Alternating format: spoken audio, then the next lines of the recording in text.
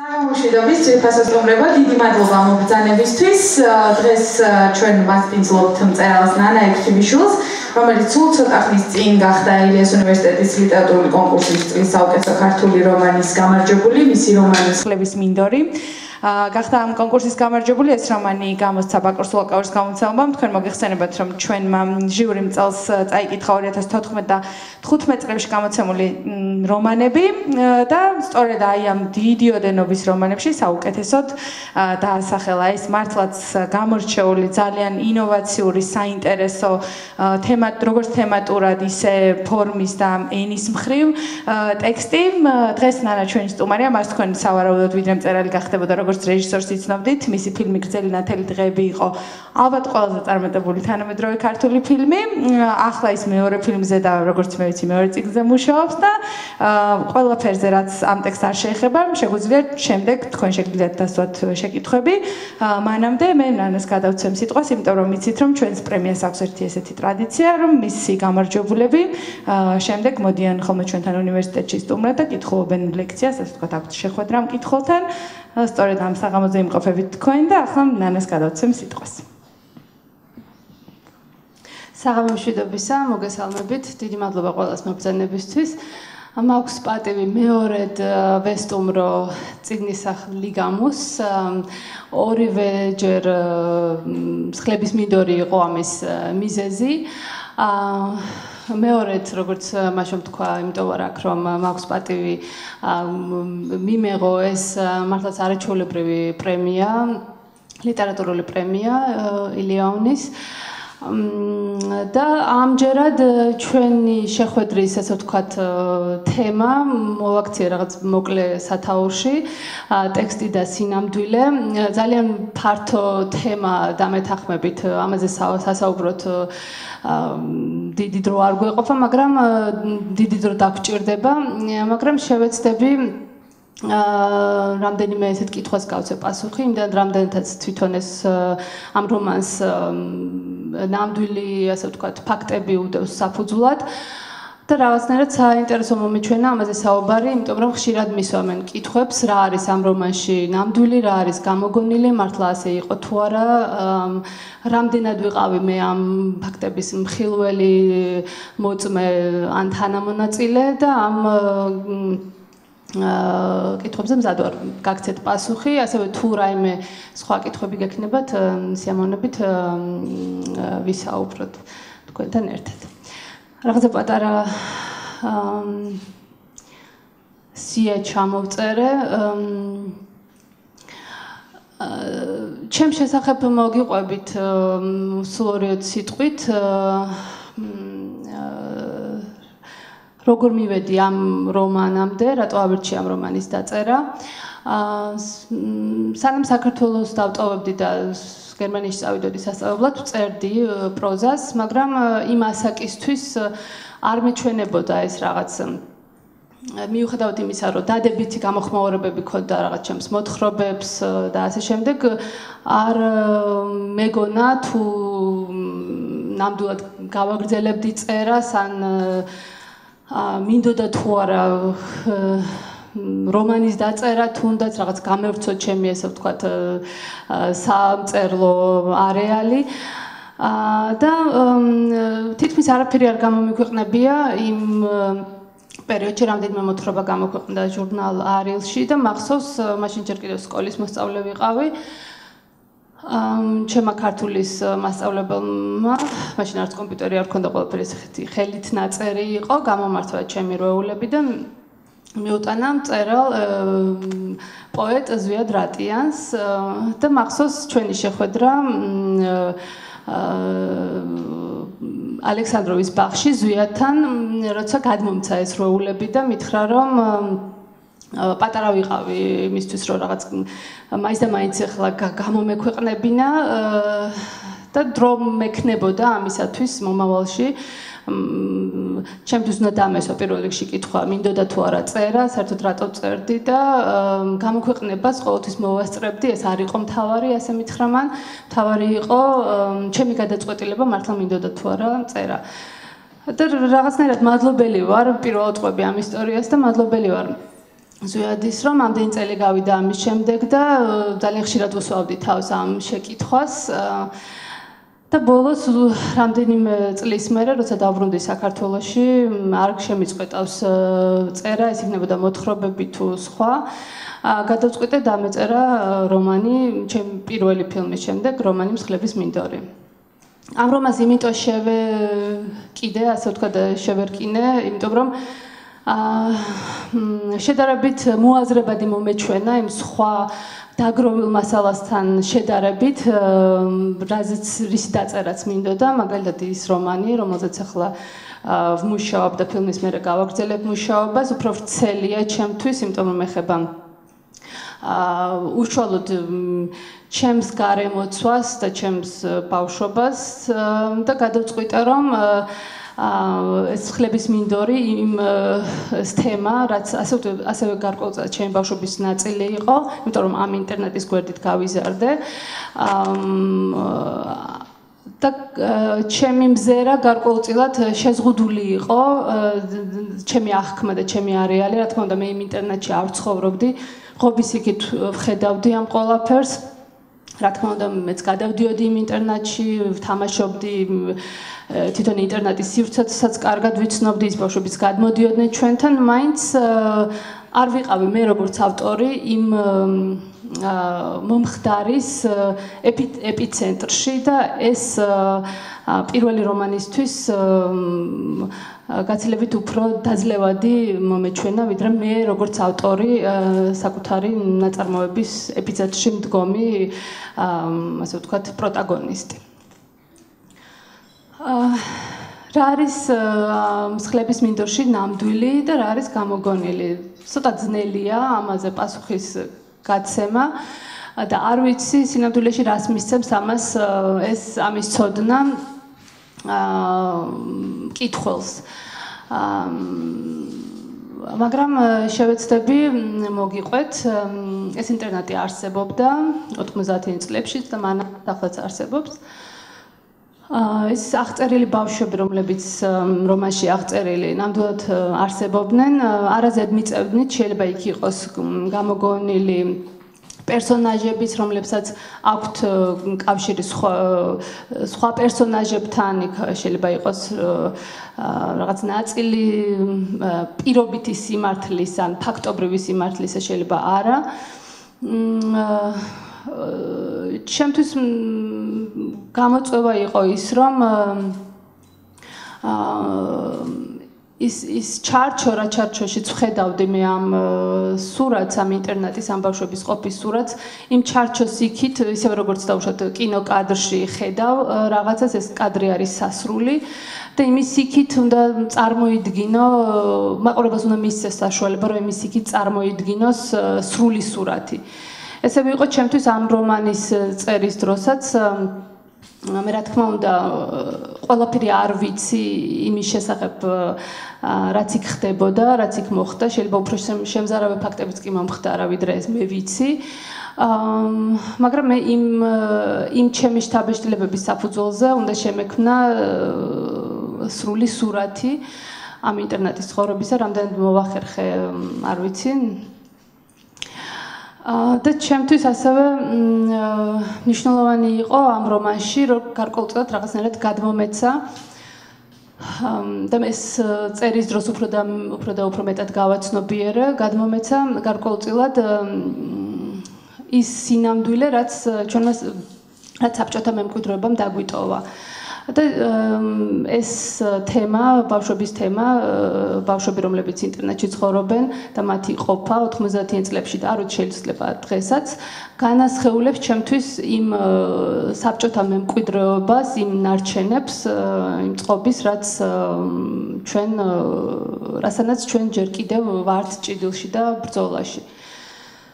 აა როდესაც საბჭოთა კავშირი ინგრეოდა, მაშინ ბავშვი ვიყავი, ჩემი თაობა და სულ იყო, ასე ვთქვათ, კითხვები, რა არის ეს რა უნდა ეროვნულ განმანთავისუფლებელ მოძრაობას, რატომ არ არის საქართველოს თავისუფალი ჩვენ ხომ ისე ვცხოვრობთ, როგორც გვინდა რომ ვიცხოვროთ და ასე შემდეგ. და მეც როგორც მეც ბავშვობაში ხშირად დავფიქრებულ ვარ, სულ მიტინგების მომსწრე ვიყავი, ყველგან რაღაც ხდებოდა, სადაც გახვიდოდი და მე დამისვავს ჩემი თავისთვის კითხვა, ის სად არის ეს რეჟიმი, სად არის ეს წყობა, აი რა, სად არის ეს შეზღუდვა, რას და რაც უფრო მეტი დრო გადის, მით უფრო მეტად შემიძლია ამ კითხვას პასუხი გავცე და მით უფრო მეტად დავუკავშირო ეს არსებულ რეალობას. აა, როდესაც ბავშვი ვიყავი, მაგალითად ეს გამოხატული იყო დაუშვათ ხელსახვევში 9 აპრილს შემოსულ ტანკებში აა რუსთაველზე, მაგრამ ნიშნულოვანია ის, რომ ეს წყობა და საბჭოთა კავშირი მხოლოდ ესეთ სახიერ რაღაცებში არ არის გამოხატული. ის ადამიანის აზროვნებაშია ჩაბუდებული და ამასთან ბრძოლა დღესაც გვიწევს. ეს არის ურთიერთობა მასწავლებლებსა და მოსწავლებს შორის აღსაზრდელებსა და მათ მასწავლებლებს შორის, ადამიანებს შორის სუსტან დამოკიდებულებაში არის ძალიან მნიშვნელოვანი. და ამ რომანში არ ვიცი რამდენად მოახერხე, რომ აღმეწერა ეს დამოკიდებულება სუსტის მიმართ და დამოკიდებულება აა ასე ვთქვათ ადამიანების ჯგუფის მიმართ რომლებიც ერთი შეხედვით საზოგადოებისთვის არ წარმოადგენს არც რაღაც ნიშნულოვან ნაწილს, არც მათ მიმართ არ არ ქონდათ პატივისცემა, მე ისე გავიზარდე ამ ადამიანების გარემოცვაში, რომ ნორმალური იყო თითქმის შეიძლება და რაღაც კუთხით ეს არ მეჩვენებოდა მთლად ნორმალური, მაგრამ ყველა შეგვებულები ვიყავით იმას, რომ მათთვის მიგვემართა როგორც დებილი, და ასე შემდეგ. აა რამდენად შეიძლება რომ ლიტერატურა მაღწეროს სინამდვილე აა პრინციპში შეუძლებელია ლიტერატურა მოინდომოს აღწეროს სინამდვილე, იმიტომ რომ ერთის მხრივ ეს რაღაც ფაქტობრივი სინამდვილე და ნამდვილი რაც აინტერესებს დაუშვათ ჟურნალისტიკას რაც აინტერესებს მართვსაჯულებას ჟურნალისტიკა ლიტერატურას აქვს უფრო მეტი განზომილება ის რაც დაუშვათ სხვა სფეროებს არ აინტერესებს. ლიტერატურა არ ეძებს მარტო დამნაშავეს არც ძლობს მარტო მიუთითოს იმაზე თუ ვინ არის დამნაშავე. და თუ დაუშვათ ამ რომანის წაკითხვის შემდეგ ამის გარდა მკითხველს რაღაცნაირად თანაგზობა გაუჩნდება თუნდაც აღზრდელის მიმართ დაუშვათ აღზრდელი დალის მიმართ და გაიგებს და უთანაგდოს მას რომ ისიც არის დაუშვათ რაღაცნაირად აა ამ გარემოების მსხვერპლი თუ ასე ვთქვათ შედეგი ამ ყველაფრისა მე ვფიქრობ რომ ზუსტად ეს არის ასე ვთქვათ ლიტერატურის რაღაცნაირად გარკვეულწად მოვალეობა რომ არ იყოს ერთგანზომილებიანი და მკითხველს სხვადასხვა კუთხით შეახედოს თავის პერსონაჟებზე და რამდენად შეუძლია საერთოდ მე-20 საუკუნეში დაიწყეს ლიტერატურათ მცოდნეებმა იმაზე ეს დავა რა თქმა უნდა და ეს საკითხი ანტიკური ლიტერატურადანაც მოდის რამდენად შეუძლია ლიტერატურა სინამდვილე აღწეროს აღწეროს ისტორია რა არის მაშინ მართალი და რა არ არის მაგრამ მე-20 საუკუნეში უფრო მეტად ლიტერატურული სინამდვილე არის და უკავშირდება მეტად ფილოსოფიურ სინამდვილეს. ანუ არ არის აუცილებელი ჩვენ აღწეროთ რაღაც ზედმიწევნით ზუსტად არამედ აღწეროთ ის რაც შეიძლება მაგალითად მომხდარიყო ავტორის აზრით და მასში ვეძიოთ რაღაც ფილოსოფიური შეკითხვები. ამ შეიძლება ამაზე ძალიან დიდხანს ვისაუბროთ, ძალიან ესეთი მარტო მონოლოგი რო არ გამომივიდეს. აა დავასრულებ ჩემს, ასე ვთქვათ, მონოლოგს და ამ მომართოთ კითხვებით თუ რაიმე კითხვა გაგაჩნია. მადლობა დანა ერთი საკმაოდ ესეთი ალბათ ტრივიალური შეკითხვა მაქვს როგორც ადამიანს რომელიც მუშაობს ერთი მხრივ კინოს მედიუმში და მეორე მხრივ ესეთი ადამიანები ძალიან ძალიან ბევრი არიან, ცხადია გვაქვს წარმატებული თქვათ შემთხვევებიც ხო, მაგრამ ძირითადად ისე ხდება ხოლმე რომ ერთს ირჩევენ. ანუ რა არის განსხვავება შენთვის აი ამ ორ სხვადასხვა მედიუმში მუშაობისას? აუცილებელი ერთმანეთს სულიად განსხვავებული გამოცდილებებია, რომელ რომელი გირჩევნია, საკუთრო კომფორტულად ზონ თავს და ასე შემდეგ. ეს მაგ არ ვიცი ისინი რამდენ დავსებენ ერთმანეთს მაგრამ შემიძლია ვთქვა რომ აბსოლუტურად განსხვავებული განსხვავებულია ჩემთვის კინოზე მუშაობა და თორშოთ რომანზე მუშაობა სიტყვებთან თავს გაცილებით უფრო თავისუფლად ვგრძნობ უფრო სწრაფად გადმოვცემ აზრს ვარ დამოუკიდებელი არავინ არ მჭირდება გარდა თორშოთ გამომცემლისა რომელიც ამბიშთავს ციგნს და კინოს შემთხვევაში ეს არის ძალიან დიდი და ხანგრძლივი პროცესი, საერთოდ მიხვიდე იქამდე რომ გამოხატო რაღაც. აა არის წლების მუშაობა იქიდან რაც გაქვს დაუშვათ სცენარი იმის შემდეგ და კინოს აქვს ის თვისება რაც დაუშვათ მე მომწონს კინოში რომ გარკვეული პერსონაჟი რომელიც შენ ფილმში ყავს, მას აძლევ სახეს. შენ გადაწყვეტ, შენ გაქვს უფლება გადაწყვიტო, რომელსაც აა ასე ვთქვათ, პერსონაჟის ერგოს, ამა თუ მსახიობი იქნება ეს პროფესიონალი თუ არა პროფესიონალი, ძალიან კონკრეტულ სახეში განსხეულდეს ის პერსონაჟი, რაც შენ დაწერე. და ეს ერთის ხრივ ძალიან მიმზიდველია ესე ესე ბოლომდე ესე კონკრეტიზაცია რაღაცის და მეორეს ხრივ რაც ეს არა აქვს ლიტერატურას და ესე ძალიან მომწონს რომ შენ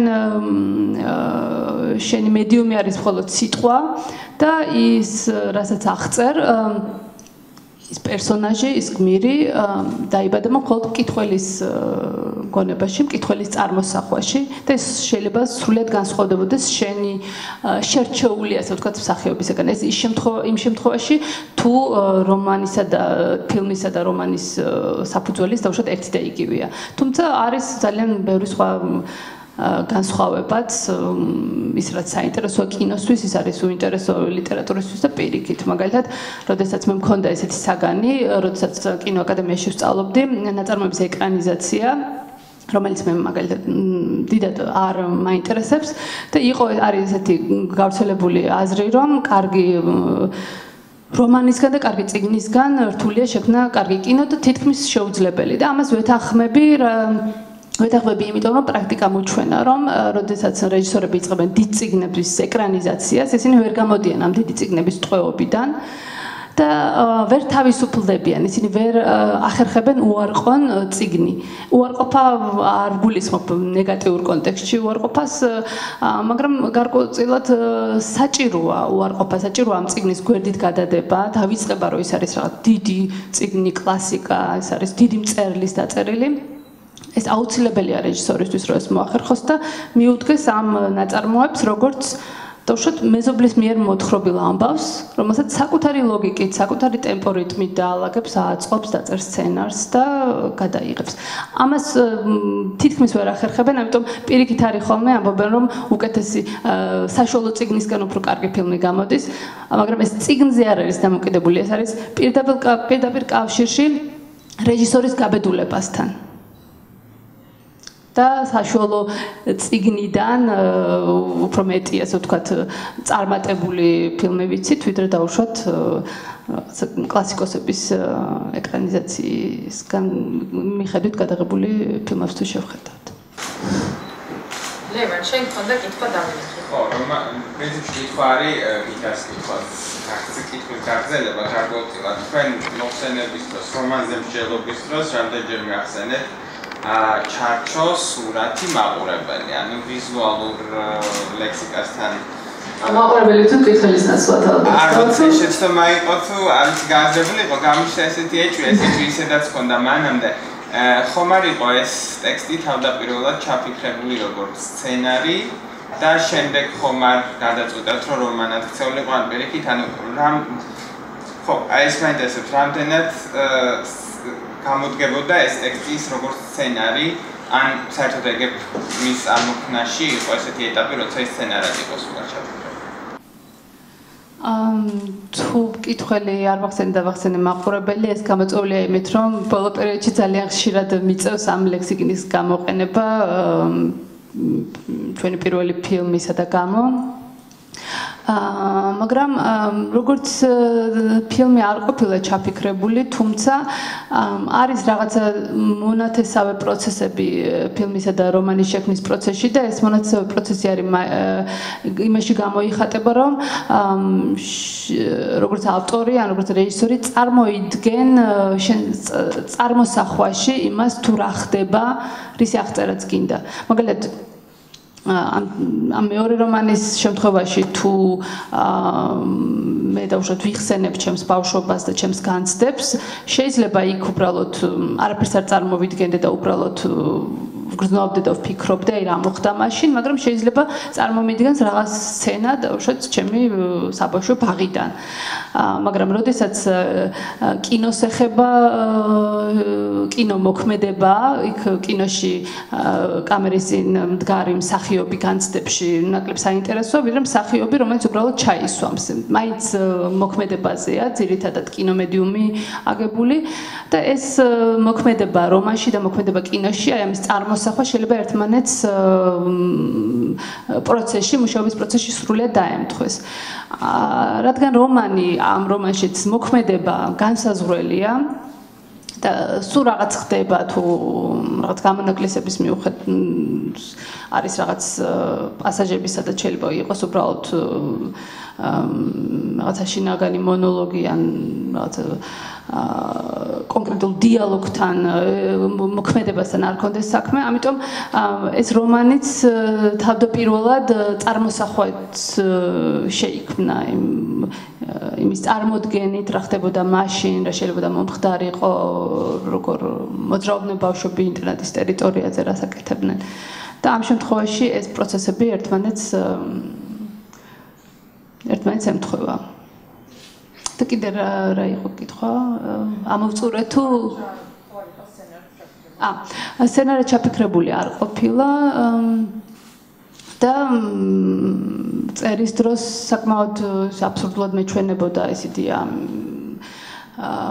მის გადაღების, იმიტომ რომ ამაზე რომ მეფიქრა, შემიშლიდა ხელს წერაში და არ მინდოდა ამაზე მეფიქრა. აა მაგრამ ეხლა რო ვფიქრობ, შეიძლება რა თქმა უნდა გადაღება, არ ვიცი, ჩემს რამდენად ამ მეტაძე რამდენად საინტერესო იქნება, მაგრამ რთული იქნება გადაღება, იმიტომ რომ მე მაგალითად არ ამონაწილეებდი ამ ფილმში პროფესიონალ მსახიობებს, არის ბევრი ბავშვი, ეს რთული იქნებოდა ასეთი ბავშვების მოძიება აა ყველაფერი დამსგავსებოდა ფაქტობრივად დოკუმენტურ კინოს. მაგრამ შეუძლებელი არაფერი არ არის, თუმცა ამჯერად სხვა სხვა კინოგეგმებით ვარ დაკავებული. რა დაუბრუნდეთ მსხლების მინდორს როგორც ტექსტს ამ ტექსტის წარმატება ვთქვათ რა თქმა უნდა გამოსვლისთანავე ძალიან დიდი ინტერესი გამოიწვია და ბევრს საუბრობდნენ მახსოვს როდესაც ეს ტექსტი გამოვიდა. ხო მკითხოლებიც კრიტიკოსებიც და ბევრნაირი აზრი გამოითქვა და თავისთავად ყოველ მნიშვნელოვანი მგონია.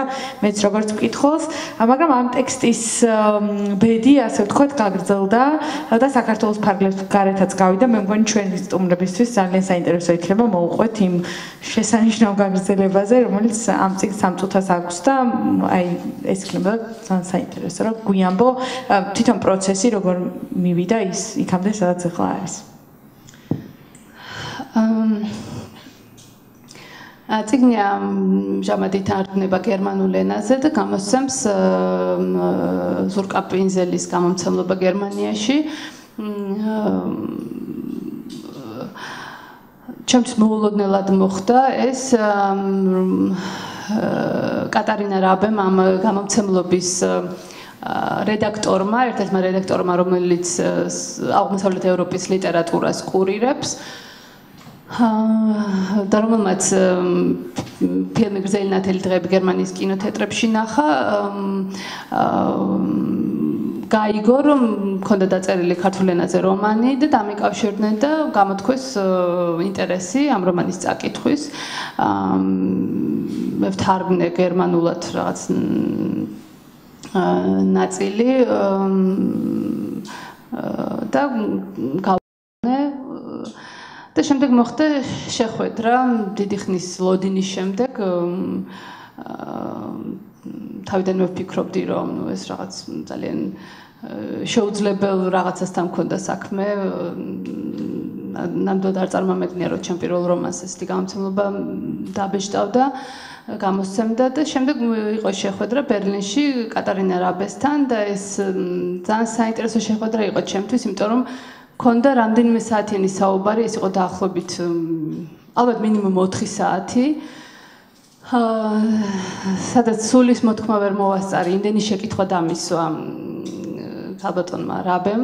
ეს შეკითხვები შეეხებოდა ყველაფერს.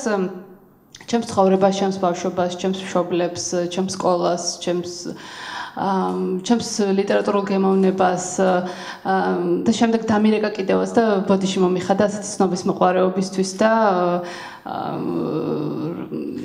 ქართლაც როგორ იქნება ძალიან ესეთი ხوار დაგაძალეო ბევრი რაღაც ის იმიტომ რომ არ იყო ჯერ გადაწყვეტილი დაბეჭდა გამოსცემდა თუ არა ეს გამომცემლობა აა ჩემს რომანს სიმპათია გამოთქვა ამ რომანის მიმართ და რამიდა ამით რო თქვა ეს ეს დიდი ინტერესი ჩემს მიმართ იყო გამოწეული იმით რომ მათი ასე ვთქვათ მიდგომით მათი ამ გამომცემლობის რომ ისინი არ გამოსცემენ ციგნებს ისინი გამოსცემენ ავტორებს. და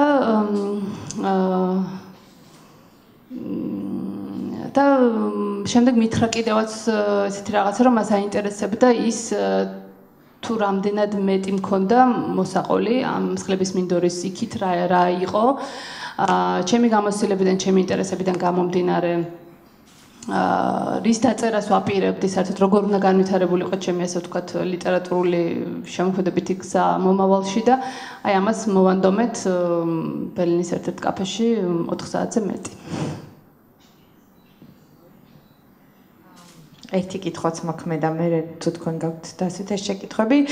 მე როგორც ვიცი შენ მუშაობ მეორე ტექსტზე ახსენე კიდეც. თუ შეიძლება რომ ცოტა რამდენად შეიძლება მოგვიყვე რამდენად გავს ამ ტექსტს ან ჟანრობრივად ან სათქმელის მხრივ ან რამდენად განსხვავდება და დაახლოებით როდის ფიქრობ რომ შეიძლება გამოსაცემად მზად იყოს?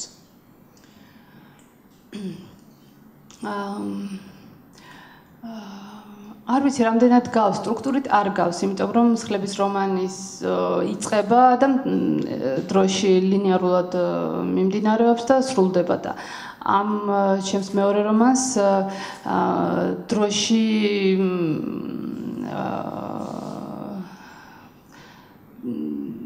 ასე სწორხასოვნად არ იქნება მოთხრობილი. და ასევე დიდხანს ვფიქრობდი ყოფილიყო ეს პირველ პირში მოთხრობილი თუ არა.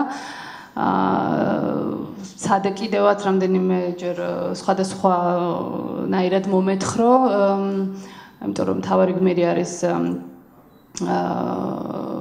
გოგონა 13-14 წლის რომლის მამაც ბრუნდება აფხაზეთის ომიდან და ისინი უბრალოდ ერთ სახლში ცხოვრობენ და არის რაღაც ბევრი ცოტა შეხების წერტილი და ბევრი პრობლემა სახლში ამის შესახებ არის ეს რომანი. და გადავწყვიტე რომ ის ისე პირველ პირში მომეთხრო და უფრო მეტად სუბიექტური ყოფილიყავი ამ რომანში. არ ვიცი საბოლოოდ რა სახეს მიიღებს ამ რომანისგან განსხვავებით, გაცილებით უფრო უცნობ ტერიტორიაზე, ასე ვთქვათ, მომიწევს მოძრაობა, იმიტომ რომ ამ რომანის დასაწყისში თითქმის ყველაფერი ზუსტად ვიცოდი, სად როგორ იქნებოდა. ამ ამ რომანის შემთხვევაში გაცილებით უკეთ ვიცი რაღაცეები შეიძლება ითქვას. და ჩემთვისაც საინტერესო რამდენად დამეხმარება ეს ცოდნა იმ ჩემი პერსონაჟის აღწერაში და ამ რომანის შექმნაში. არ ვიცი თუ სწორად მოგიყევი რაც გაინტერესებს. თუ კი გაქვთ შეკითხვები, მომისმენთ, მოარა და შეგიძლიათ თუ გაქვთ რამე კითხვა? აი, აი, კიდევ აა, შემოყევეს ისტორიის ვეტრაკეტი შეფეთრის ხო, რომელს და დაგავალია და ფაქტობრივად აღწერილობის ძალზე, მაგრამ მე შენ თვითონ მაინც კუდის მიხვდი უშუალოდ, რომ ეს იყო რაღაცა ეს ფაზა, რომ კუდის შემოწმებული და თვითონ ეს არის პრინციპში ის რაც უკიდა რო აქეთ. აა, ეს კავშირია ეს სკოლაში სწავლასთან სცენარის წერის ხოლმე ვფიქრობდი თუ რაღაც მათრო პერიოდში რაღაცნაირად სულ სულ გასდევდა ეს ეს კითხვა, ასე ვთქვათ, შემოღვაწეობას, ასევე კინოსკოლაში სწავლის პერიოდშიც და საბედნიეროდ შემხდნენ ისეთი ადამიანები, ასე კინოსკოლაში მასწავლიდა დრამატურგიას, ესეთი ხალბატონი რეგინე ქუნი, რომელიც სულ მეუბნებოდა, რომ ფილმები არ უნდა გადამეღო და მარტო უნდა მეწერა, იმ ჩემი სცენარებიდან გამომდინარე, იმიტომ რომ ამბობდა, რომ ამას უფრო მეტი აქვს ლიტერატურასთან საქმე ვიდრე სცენართან და ნუ ეს ეს დიალოგი სუ იყო ამაზე საუბარი.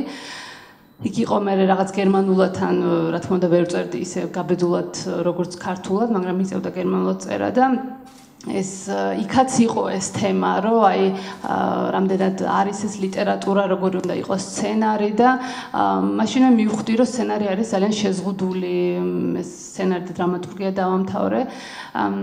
სცენარი რამდენად შეზღუდულია, საერთოდ არ არის ხელოვნების დასრულებული ფორმა, ის არის სამუშაო ფურცელი რეჟისორისთვის გადასაღებ მოედანზე და ასევე სამუშაო ფურცელი იმისათვის, რომ მოიძიო ფონდები და საერთოდ მიხვიდე იქამდე, რომ ფილმი გადაიღო.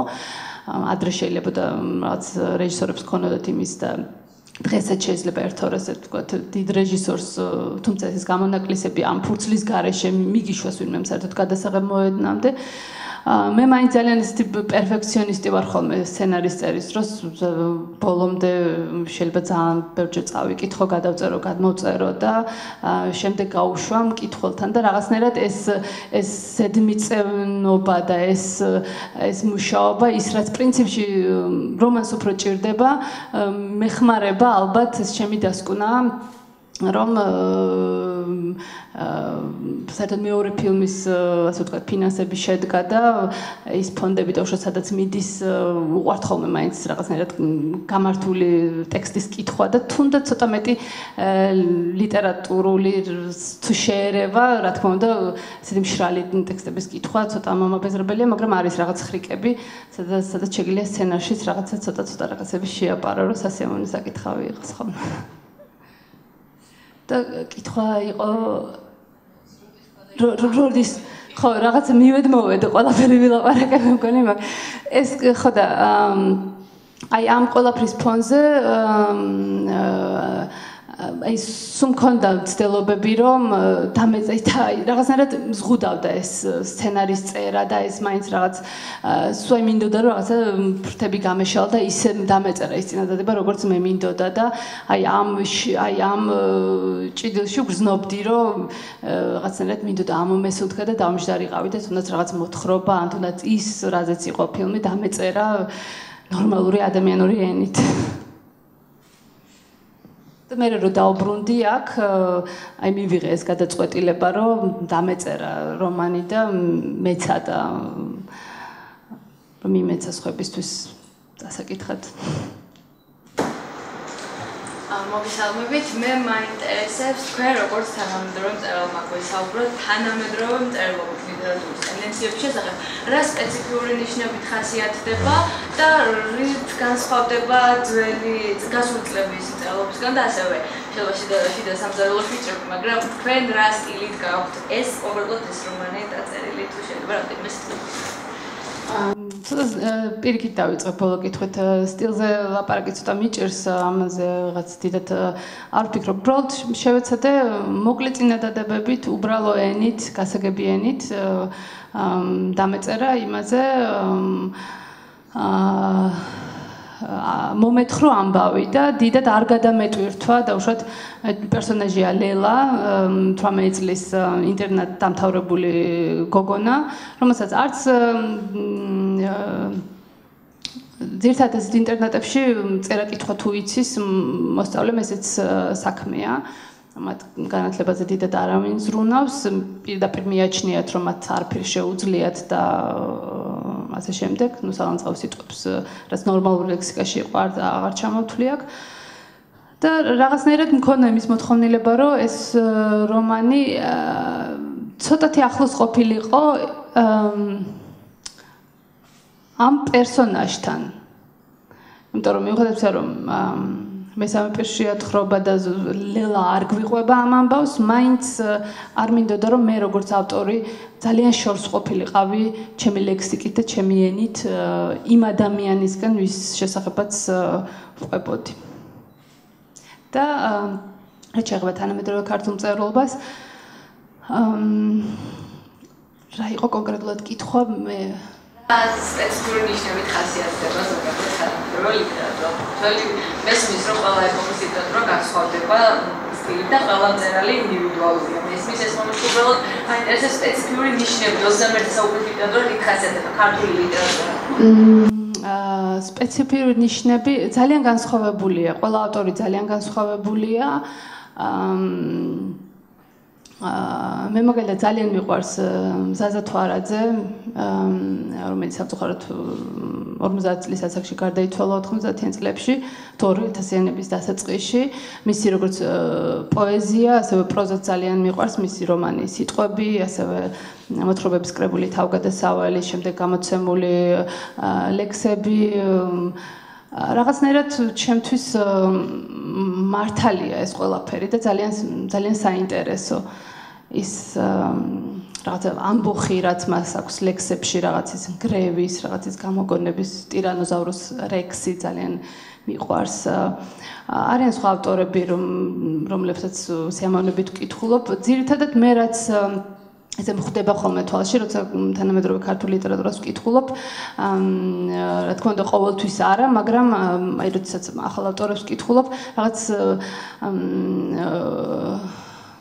თვალში მხდება ძალიან აი ავტორის იქით მდგარი დიდი გამოცდილება აა რაც თითქოს რთულია ხოლმე ამ გამოცდილების რაღაცა ნარატივში მოქცევა და არის ხოლმე მცდელობები რაღაცის გადახტომის, რაღაცის შეკუმშვის, რაღაცის უფრო გაპოეტურების, ვიდრე ჩაღრმავების და ფილოსოფიის და ესეთი ძირფესვიანი თხრობის.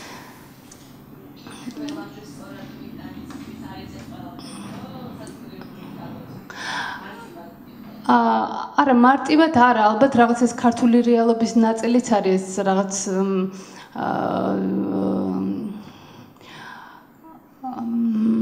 ალბათ ყველა თვითონ გადაწყვეტს რა არის მისი სტილი და რამდენად აი მე მიჩნდება ხოლმე სურვილი რომ აი რაღაც პასაჟში და უშოთ კიდევ მეტი იყოს მოთხრობილი და რაღაც ამ სქელტანიანობის არ აი უფრო მცირე რომანი და უშოთ შემოვიდა ესეთი განმარტება მცირე რომანი. რომ ალბათ ეს არის რაღაცნაირად დამახასიათებელი რომ ყველაფერი შედარებით მოკლე სიტყვით ითქვას. რაღაც ერთი ეს მაჩვენებელი რაც ხა მახსენდება და ასე უნდა ავტორების დიდი გამოცდილება, რაც აი ამ ცირეტანიანობის და ამ პატარა შეკუმშული ტექსტებში რაღაცნაირად ჯონავს და იმიტომ რომ ჩემ თაობას, ჩემს პატარა თაობას საერთოდ ჩვენს ქვეყანაში ცხოვრებ ავტორს აქვს ძალიან ბევრი რაღაცა განვიცადეთ, ომები, ტრამვები, ბევრია მოსაყოლი, ბევრია დაგროვილი. და აი ამ ცირე ტექსტებში ეს ჟონავს ხოლმე და ალბათ რაღაცნაირად ეს გამოცდილება უნდა გადამოვიდეს უფრო მეტად და მეტად ეს რაღაც პროცესია.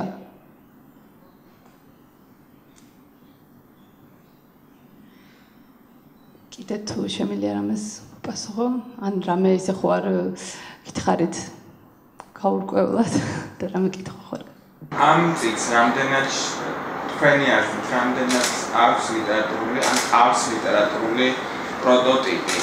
ანუ არ გულისხმობ რეალობაში გულისხმობ რამდენად არსებობს რომანი რომელსაც თუნდაც დასავლური რომანი, რომელსაც თქვენ ამ წიგნში შეაჯარებდით, დაუპირისპირებდით, ან რომელიც თქვენთვის ერთგვარად შეგონების წყარო იყო, როდესაც ამ ტექსტს წერდით, დავუშვათ იმ ცხოვრების გამოცდილებასთან ერთად, რომელიც ისედაც გავიგეთ უკვე რომ საფუძველზე შეიძლება რაღაცით, არ ვიცი, ძალიან მიყვარს ავტორი ჯონ მაქსველ კუძე. აა რომლის ენა საკმაოდ უბრალო და თითქოს არ ცდილობს რაღაც მის არც ერთ რომანში რაც განსაკუთრებული ფორმულირებებით გადატვირთოს მკითხველი. და ძალიან მარტივად ახერხებს აა ძალიან მარტივად ახერხებს ხა ამით არ ვადარებ რა თქმა უნდა ჩემს რომანს. უბრალოდ მე ამ რომანის კითხვისას არის ხოლმე იშვიათად არის რომ ციგნები რომელსაც შეიძლება ბევრჯერ წაიკითხო მაგრამ მე მანცვიფრებს ხოლმე აი ეს აი უბრალოდ აი სიტყვები ჩვეულებრივი სიტყვები და იმის იქით დგას სამყარო რომელიც ძალიან საინტერესო და რაღაცნაირად ხელშეუხებელია და ძალიან ძნელია ჩაწვდა და გაიგო რა არის იქით. და უამრავი რაღაც მახსენდება მისი რომანებიდან, რაღაც ეს დიმოთხრობილი პასაჟებით, აა მაგალითად ერთი რომანიდან, რომელიც აა შეიძლება ისეთი ცნობილიც არ არის და ისეთი ეკოც არ არ ქონია ამ რომანს როგორც მის სხვა რომანებს. ახალგაზრდობა ქვია ახალგაზრდა ბიჭი ინფორმატიკის სტუდენტი ჩადის სამხრეთ აფრიკიდან ინგლისში ლონდონში სასწავლებლად ენა ინგლისური და სულ იგივე ენა მაგრამ სულ უცხოელად გრძნობს თავს და სულ ცდილობს რომ ასე ცდილობს რომ დაიმკვიდროს თავი და აღარ იყოს უცხოელი და იწყებს მე მუშაობას მე რა საკითხები საერთოდ ვეღარ ხვდება რატო უნდა საერთოდ ეს ფული ან რატო მუშაობს ან რატო სწავლობს და ყავს ერთი თანამშრომელი ინდოელი განაპატი ქვია ამ ტიპს. საკმაოდ ერთი საინტერესო პერსონაჟია რომელიც მასავე სულ მუშაობს. და არ ჭამს საჭმელს ეს განაპატი იმიტომ რომ არ იცის საჭმლის კეთება ინდოელმა დედამ ასე ვთქვათ განებივრა. და ძალიან ბევრ პარალელს პოულობს სხვათა შორის ქართულ კულტურას შორის, აი მის ხედ მისი ხედვიდან გამომდინარე, მისი იუმორიდან გამომდინარე თუნდაც და განებივრა დედამ და ჭამს მარტო ბანანებს, იკვებება მარტო ბანანით, ნაპატი და ჩვენს გმირს რომელსაც საერთოდ არანაირი კავშირი არ აქვს გარესამყაროსთან და დადის ესე ვთქვათ აა ყურებ ჩამოყრილი და ესე ვთქვათ მე მგონი თუ არ ვწდები რაღაც მოწუკებიც აქვს და ერთი ერთი რაღაც ფანტასტიკური პასაჟი აქვს როდესაც ამბობს რომ მეო გამოვიცეკვეო გოგონაო და რაღაც ამ გოგონას გარეგნობაზე საუბრობს და ამბობს რომ ნუ ესეთი გარეგნობა მისაღებიაო იმიტომ რომ მეც ასე ვთქვათ მეც არ ვარ რაღაც ანგელოზი რაღაც აი და ასეთი პერსონაჟი რომელსაც საერთოდ გარესამყაროსთან კავშირი არ აქვს რატომღაც გადაწყოს ერთ ჩვენი ერთ დღეს გააკეთოს სადილი და მოიწვიოს ეს განაპატი სადილად და წავა იყიდის იწვალებს თვითონაც არ იცის საჭმლის კეთება, გააკეთებს საჭმელს, დაპატიჟებს განაპატის რომ დასვენების დღეს მივიდეს მასთან სახლში. აა და რა მოხდება? ეს განაპატი არ მივა მასთან. და ეს ეხლა რთულია ეს ზეპირად მოყვე ამ გმირების შესახებ, მაგრამ აი ძალიან ჩვეულებრივ აა შეხვედრებში ძალიან ჩვეულებრივ არსებობაში ეს წერალი ახერხებს და ძალიან ჩვეულებრივ ასე ვთქვათ გადაუტვირთა ენაში ეს წერალი ახერხებს რომ სიტყვებს მიღმა და განახოს რაღაც სამყარო. არ ვიცი რამდენად კავშირშია ეს ჩემს რომ რომანთან მაგრამ მე ძალიან მიყვარს ეს ავტორი და ჩემთვის ეს არის ლიტერატურა რომელიც შემიძლია ყოველთვის და დაუსრულებლად წავიკითხო არის განვითარების სისტემის მიღებული. აი, რომანის წერის პროცესში თუ არის ხოლმე რაღაც ხელში შემშენი ის გამოც მე აი რომელიც კონკრეტული თემისთვის. აა პრინციპში არა, იმიტომ რომ მ შეგიძლიათ რაღაც ხელს გიშლის გაჩერდეთ და მე ისევ დაიწყო და გააგრძელო თუ თუ იცი თავიდან რისი დაწერა აქვს სურს ყველაზე მეტად ხელი შემშლელია. უფრო მეტად სცენარის დროს ჭირთ ხოლმე ეს რეჟისორებს, როდესაც ჯდებიან მაგიდასთან სცენარისტერის დროს და გონიათ რომ ეხა მოვა მუზა და უცებ აი მაგიდა მოახდეს ჩემზე რაღაცა ვინს პირირდები თუ როგორ არის შთაგონ შთაგონებას მიიღებ და ესევე არის ალბათ რომანის განმავლობაშიც. შენ თუ ის არ არის შენში რაღაც მომწიფებული რაც გადაგაწყვეტინებს რომ მაგიდასთან დაჯდეს, მაგიდასთან ჯდომა არაფერს არ შეცვლის და ის რაღაც გამოყოფილი სამუშაო საათები თავარია. თავიდან ბოლომდე მოიცავდე ამ რაღაცას და მოიაზრებდე. და შემდეგ თუ მithumetes ტექსტი გაქვს, ეგ უკვე იმდენი არის სამუშაო და სახლაფორთო რომ მგონი არაფერმა არ უნდა შეგიშალოს ხელი.